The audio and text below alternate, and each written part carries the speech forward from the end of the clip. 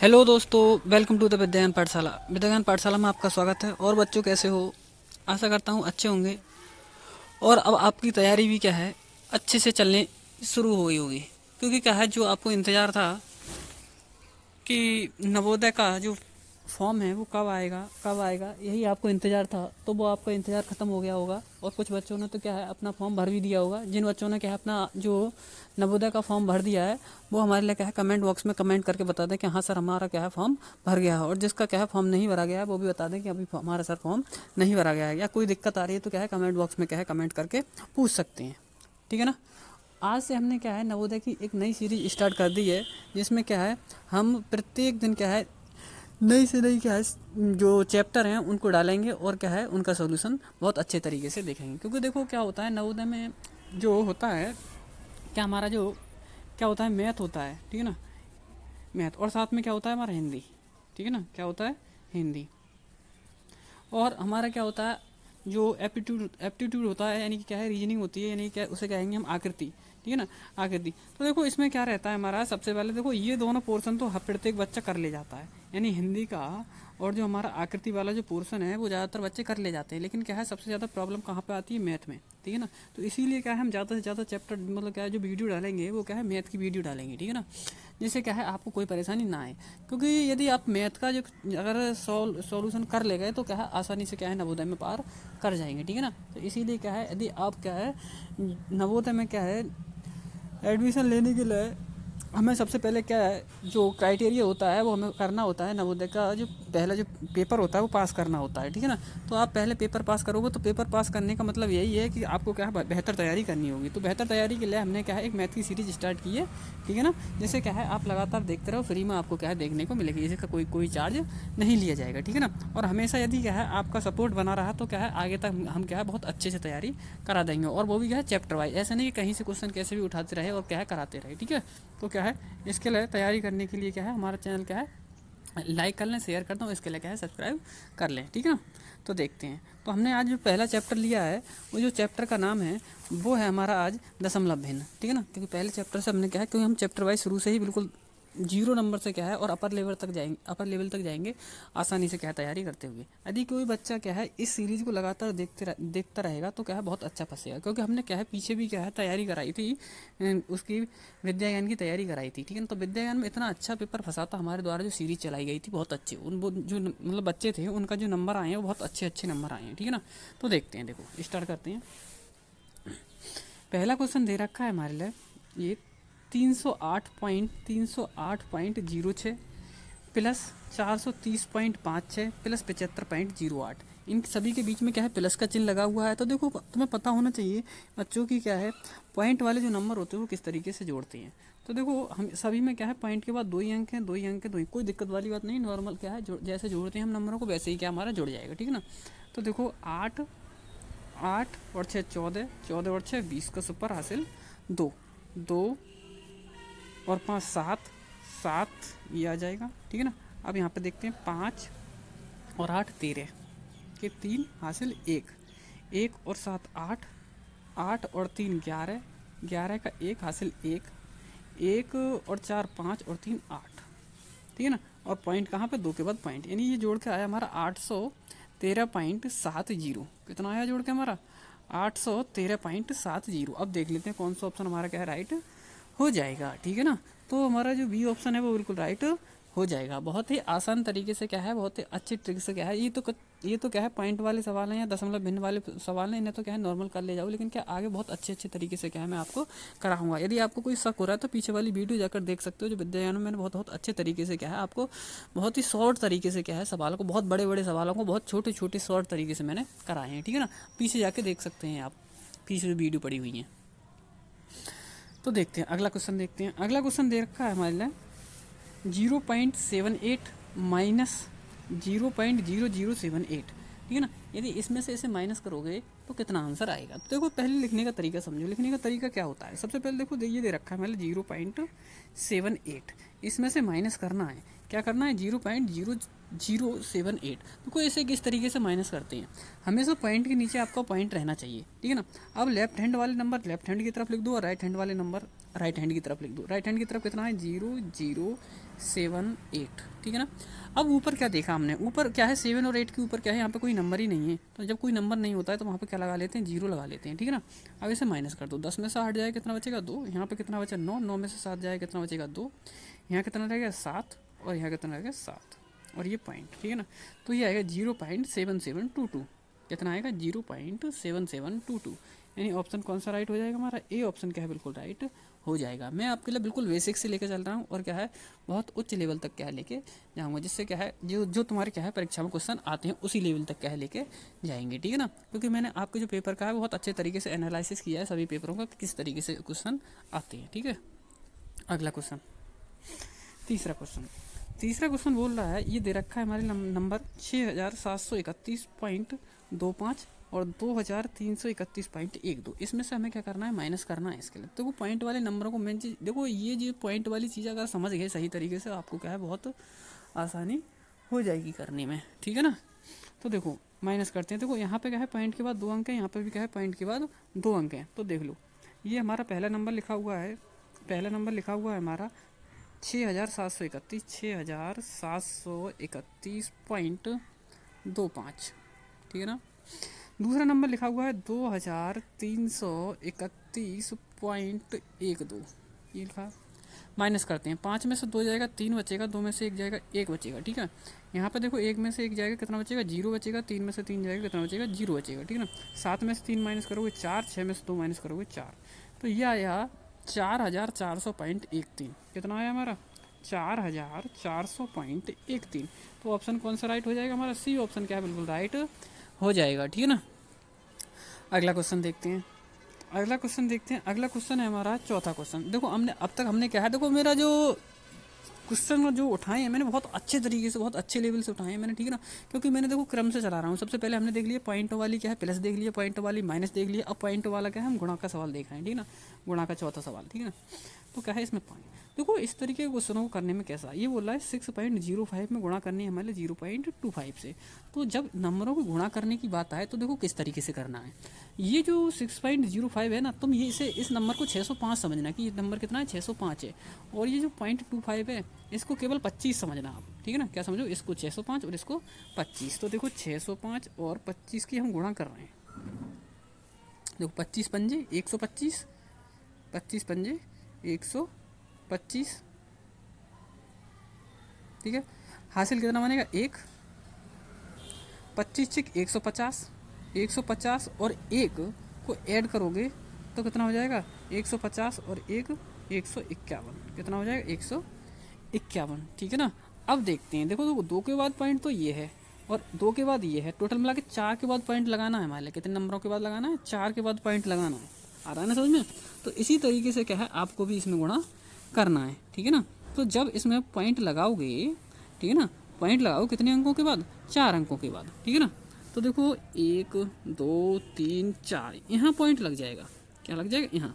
तो देखो, ये हमारा जो आंसर होगा, वो होगा एक दशमलव, यानी कि एक पॉइंट पाँच एक दो पाँच, एक पॉइंट पाँच एक दो पाँच। देखते हैं कौन सा ऑप्शन हमारा राइट हो जाएगा।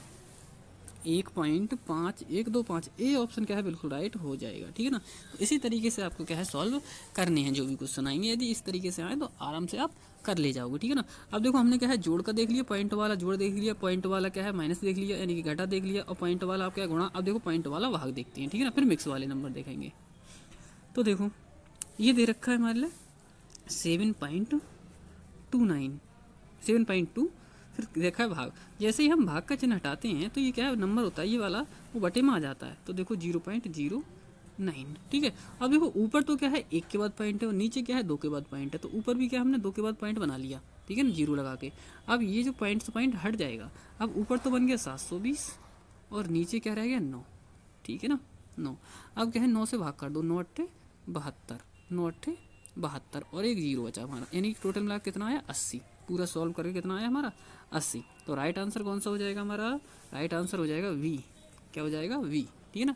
ऐसे ही आराम से बहुत अच्छे तरीके से, बहुत स्मृदान के साथ क्या है, आप करते चलेंगे हम क्वेश्चनों को, कोई भी दिक्कत नहीं आने वाली, क्योंकि हम लेके ही इतना क्या है, बिल्कुल ज़ीरो लेवल से चल रहे हैं। इसीलिए कह रहा हूँ मैं कि क्या है, आपको यदि पसंद आ रहा है तो क्या है, आप कमेंट बॉक्स में बता दें कि हाँ हमारे समझ में आ रहा है और पसंद आ रहा है, ठीक है ना? और इसी तरह से क्या है सीरीज़ जारी रखें तो हम क्या है, इसी तरीके से सीरीज़ जो क्या है, जारी रखें क्योंकि क्या आपके लिए करा रहा हूँ तो आपको ये समझ में पसंद नहीं आएगा तो हमें क्या फ़ायदा है, ठीक है ना? तो देखते हैं अगला क्वेश्चन हाय बच्चों, वीडियो में आगे बढ़ने से पहले आपको ब्रह्मास्त्र बुक के बारे में बताना चाहूँगा, जो नवोदय विद्यालय क्लास सिक्स दो के लिए बेस्ट बुक है। इस बुक को खरीदने के लिए आपको कुछ नहीं करना है, वीडियो के नीचे एक आपको लिंक मिल जाएगा बुक खरीदने के लिए, जहाँ से आप ऑनलाइन इस बुक को खरीद सकते हो। लिखा रहेगा कि ऑनलाइन ब्रह्मास्त्र बुक खरीदने के लिए आगे लिंक पर क्लिक करें। तो जैसे ही आप बुक के लिंक पर क्लिक करोगे तो आपके सामने कुछ इस तरह का पेज खुलेगा।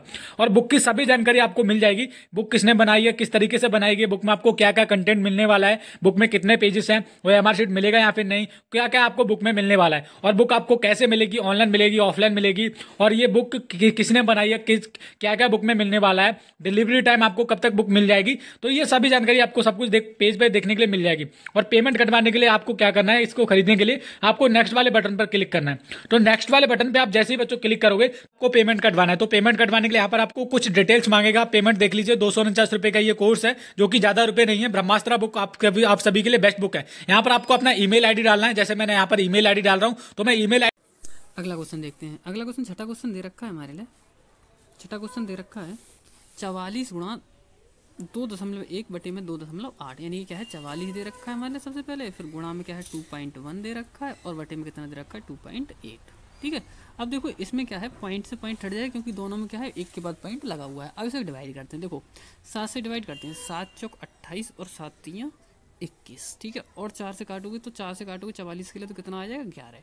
तो ऊपर क्या ग्यारह बचा और क्या बचा? तीन। ग्यारह और तीन की गुणा करोगे तो कितना हो जाएगा? ग्यारह तीन, तैतीस। राइट आंसर हमारा कौन सा हो जाएगा?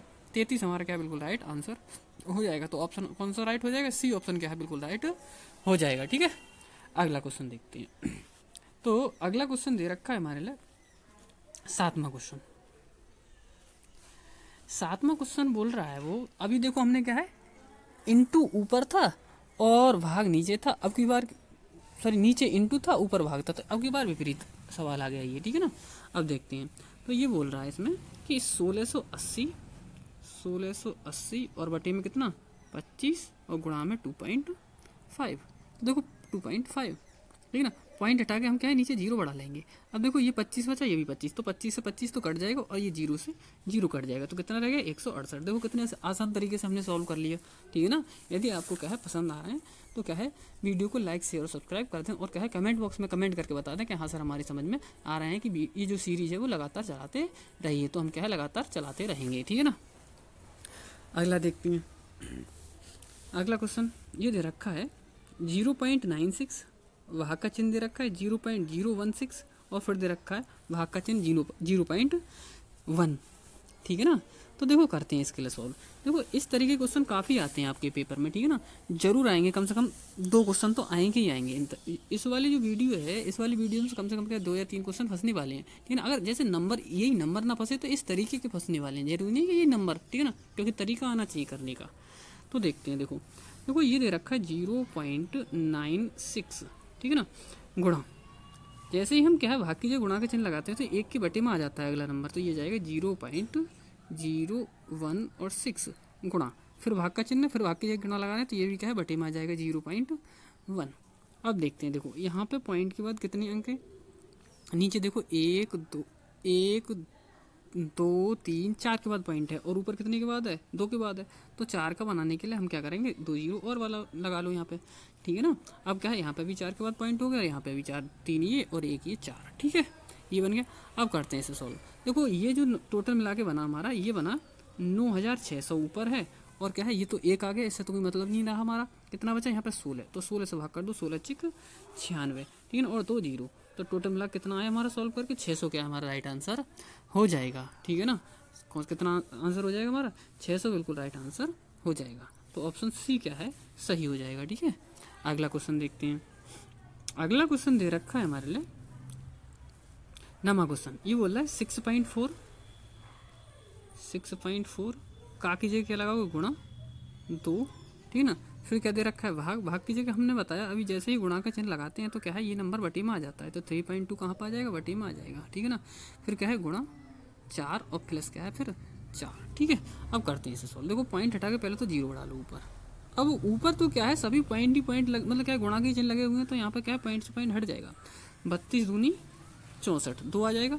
तो दो की और दो की गुणा करोगे चार, और चार की चार से गुणा करोगे सोलह, और फिर किस किसका चिन्ह है? प्लस का चिन्ह है। ठीक है ना? किसका चिन्ह है?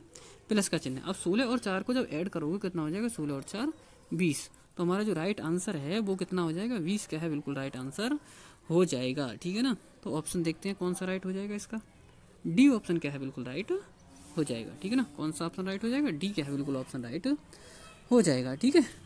अगला क्वेश्चन देखते हैं। अब अगला क्वेश्चन दे रखा है हमारे लिए, अगला क्वेश्चन दसवां क्वेश्चन दसवां क्वेश्चन दे रखा है हमारे लिए ये बोल रहा है थ्री पॉइंट टू भाग का चिन्ह है, फिर आठ का ज़ीरो पॉइंट दो प्लस चार पॉइंट पाँच भाग एक पॉइंट पाँच का तीन। यदि इस क्वेश्चन ये क्वेश्चन जो है, दसवां क्वेश्चन इस क्वेश्चन का आंसर आपको कमेंट बॉक्स में देना है। ठीक है ना? इस इस जो क्वेश्चन है, ये वाला दसवां, इसका आंसर आपको क्या करना है? कमेंट बॉक्स में देना है। क्योंकि ये जो क्वेश्चन यदि जिस बच्चे ने ये क्या है कमेंट बॉक्स में, इसका राइट आंसर दे दिया।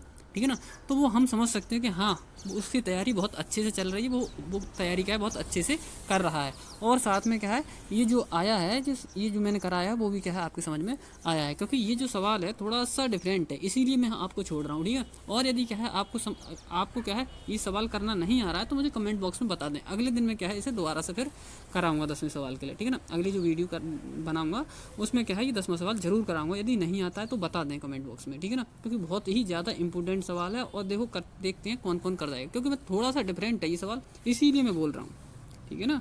इसीलिए क्या है मैं बोल रहा हूँ। ठीक है? तो देखते हैं कौन कौन बच्चा कितना कितना इंटेलिजेंट है कौन कौन किस तरीके से तैयारी कर रहा है कौन कौन इसका बिल्कुल राइट आंसर देता है। ठीक है ना? तो ऑप्शन पहला है तीन और दूसरा है दो और तीसरा ऑप्शन कितना दे रखा है? चार है। और चौथा ऑप्शन कितना है? एक। तो बताना है कि कौन सा आंसर इसका राइट होगा। ठीक है ना? तो इसी तरीके से हम आगे भी सीरीज़ जारी रखेंगे। ठीक है ना? यदि आपका रेस्पॉन्स सही मिला तो। ठीक है ना? बहुत बहुत अच्छे तरीके से अगली क्या है, जो क्वेश्चन आएँगे, वो ट्रिकों के साथ आएँगे। बहुत अच्छी ट्रिक के साथ। ठीक है ना? बहुत छोटे छोटे सॉल्यूशन के साथ। ठीक है ना? तो ऐसे ही क्या है, अपने क्या है वीडियो को देखते रहें। और क्या है लाइक शेयर सब्सक्राइब कर दें। थैंक यू दोस्तों।